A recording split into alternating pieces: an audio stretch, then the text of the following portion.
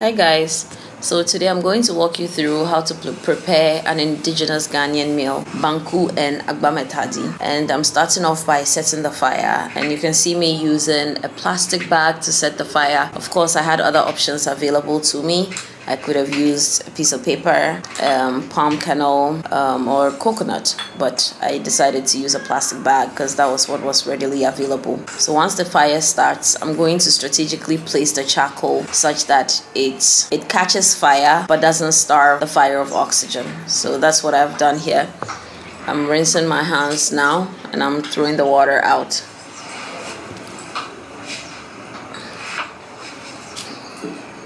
So once that's done, I'm going to allow the fire, um, the charcoal to be consumed by the fire.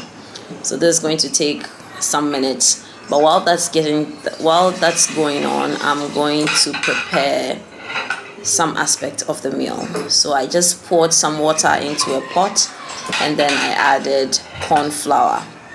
Just a little bit, a pinch. I could have decided not to add the pinch of corn flour um, and just allowed the water to come to a boil, but I decided to add a pinch. That's just what I do, and that's what I was taught growing up. So now I'm setting that aside while I allow the charcoal to catch fire.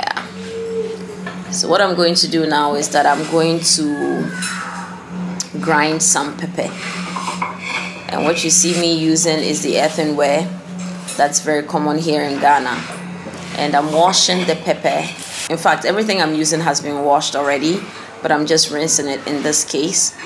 So I'm going to start off with the pepper.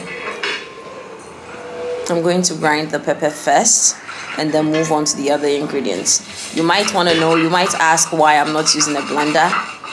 To be honest, I think it tastes differently when you use a blender than when you use from when you use an earthenware. So I prefer to use an earthenware. I'm not very good at grinding with the earthenware, but I still prefer it than the, to the blender. So while I grind the pepper, I'm going to go ahead and put my pot on the fire. Now I shouldn't have done this so early. I should have actually allowed the charcoal to be consumed by the fire so that the the flame will subside. But I guess I was in a hurry, so I just went ahead and put the, the pot on the fire whilst I continue with my grinding and with time the smoke will cease but it's gonna remain so for a while until all the plastic has been consumed by the fire. So here you see me grinding the pepper. This is gonna take a while. I'm not very good at this. Some of my cousins are much better at this than i am. This is taking a while. To be honest i don't want this to be very smooth. I'm just gonna it's not going to be a smooth uh, mixture. It's just there, there's going to be some particles in there. Now I'm cutting the onions and I'm going to put the onion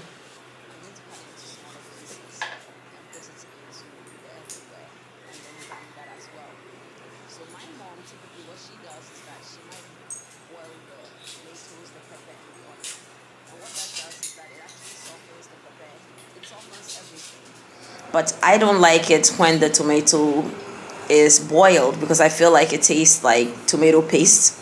So I prefer to just cook it naturally. And when you boil the onions, I find it very hard to grind. So I just prefer to do everything naturally. I just rinse it off and then I grind it by hand. So here you see me cutting the onion into some smaller pieces and then I'm going to grind it. In fact, for me, the hardest thing to grind is the onions because I find it to be very slippery. Okay, so now I'm, I'm rinsing my hands off and then I'm checking to see how the fire is moving along. You can still see some smoke oozing out of the charcoal. That means the plastic is still very much a part of the process. But once, like I said earlier, once that's done, um, you won't see the smoke anymore. So I'm, I'm grinding now what I have as the pepper and onion mixture. So I'm grinding the onion and then eventually I'm going to add the tomatoes. I'm checking to see if the water has come to a boil. It, it hasn't come to a boil yet. So I'll just continue grinding the pepper and the onion.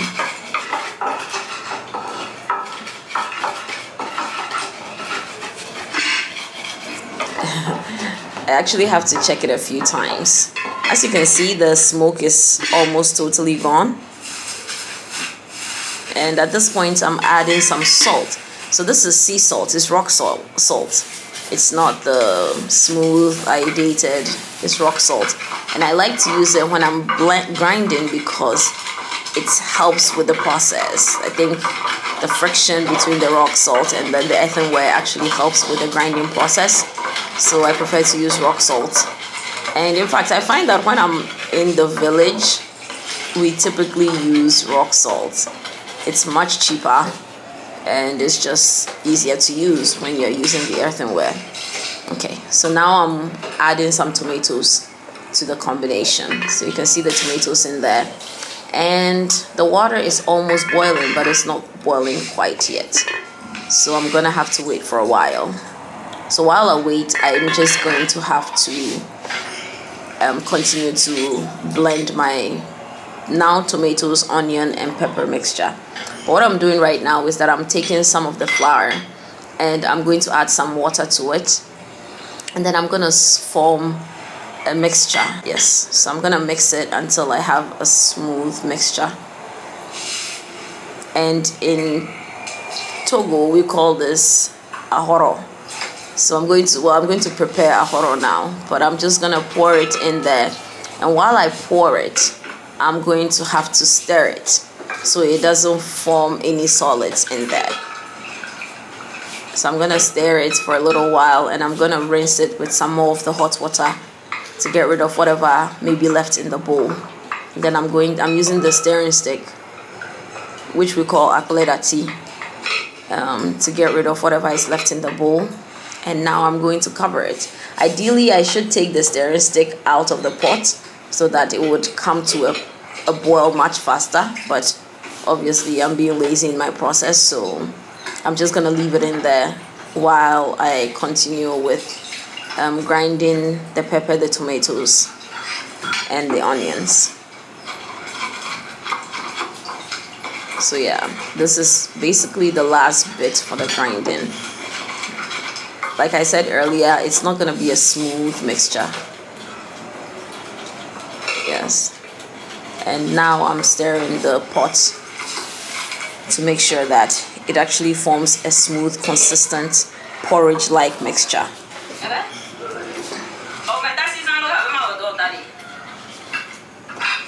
My mom is asking me some questions. She's inside. Okay, so this has come to a boil. This is what we call a ahoro. And what I'm going to do is that I'm going to add the corn flour. And this part is actually quite tricky. You have to stir very quickly. Otherwise, you're going to get some solid masses forming in there. So you have to move very quickly. That is the trick. You have to be fast with your stirring and um, you just so one thing about recipes here somebody said that uh, we don't have recipes. We just add the ingredients until the spirits of our ancestors tell us to stop. That's literally what happens. So i added the flour and i'm just gonna stir like until so to stop any solid masses from forming because you need this to be as smooth as possible. But it could very easily form solid masses which is which doesn't taste good you know it just makes it a bit more difficult to eat. So as much as possible, you want to avoid that. So you can see it's forming a more consistent solid now. So what I'm gonna do, what I'm doing here is that I'm adding some water and I'm just gonna stir it a little bit and then cover it back up and allow it to cook. So I don't like to stir too much so I prefer to just add water. This is actually the process, but I don't stir too much. I just add some water and then I allow the water to cook, to boil and then cook um, the, the flour. So now I'm back to grinding the tomatoes and onion and pepper. And that is what it looks like. It's still boiling.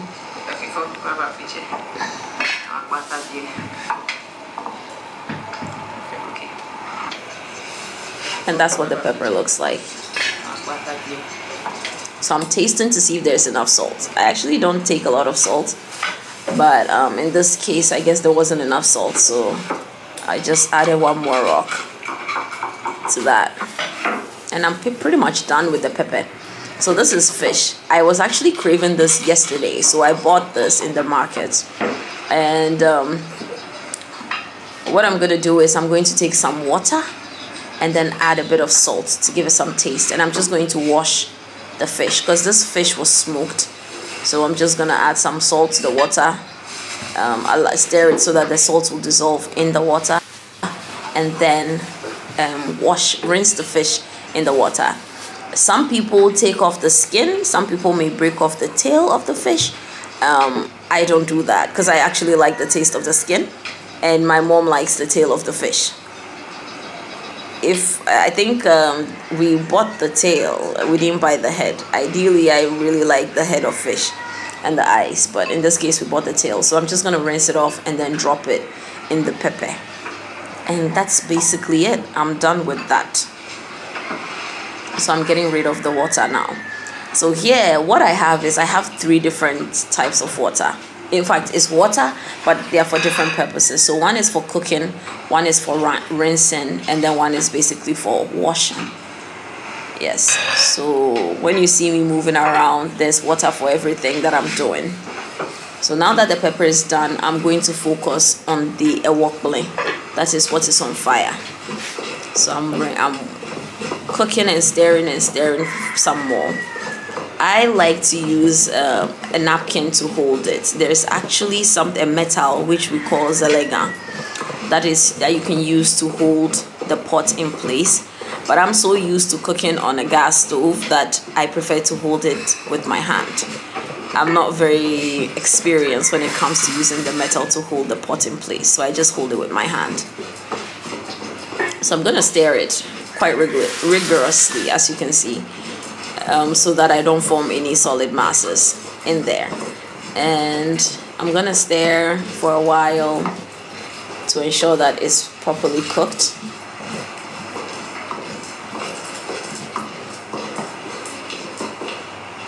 Again, there is no time limit. I know people say like cook for five minutes. There's no time limit. Depends on the number of people you're cooking for.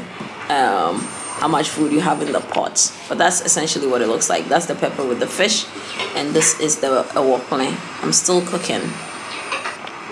I'm gonna add. Okay, so it's actually done now, and I'm rinsing the bowl, and I'm just gonna go ahead and fetch it into the ceramic bowl.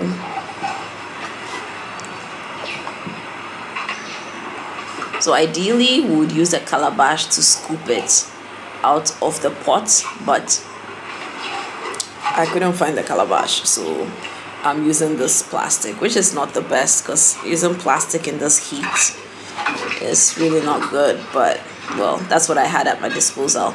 So I'm gonna cover it with a plate and then turn it over.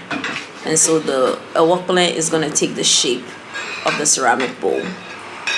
And that's pretty much it. That's it for the meal. So the the ewokple and then the pepper oh Ghana. You see the fly? Yeah. So I've covered it and the water on top of the bowl is for us to wash our hands. And this is what it looks like. It's ready. Yep. So my mom okay my mom actually took the tail of the fish already. And I'm just gonna break it in there. Break the fish in there. Don't mind the bones. We're actually gonna eat all that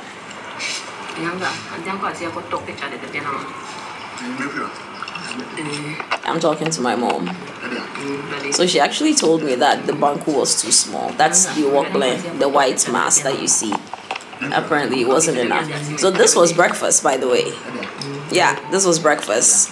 I made this for breakfast because um, we're about to travel and we wanted something solid before we started the journey because the journey was gonna be about three and a half hours. But this was breakfast. This is actually pretty light. The ewokple, it's not as heavy as amokble. But that's it. Thanks for watching. If you have any questions or comments, please feel free to post them in the comment section. Please share and don't tease me. I know how to cook. Bye. Okay.